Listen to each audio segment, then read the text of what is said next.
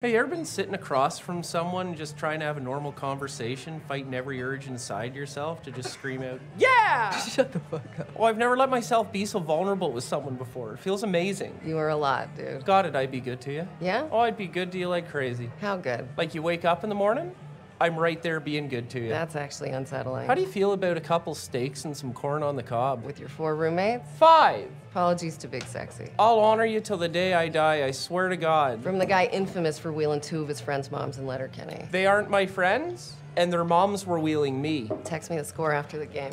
Are you not coming? Huh? Huh? I got my kid this weekend. Well, no one gets a good story from just a score. And no one cares. Let's say we do this next time over a nice piping hot bowl of miso ramen.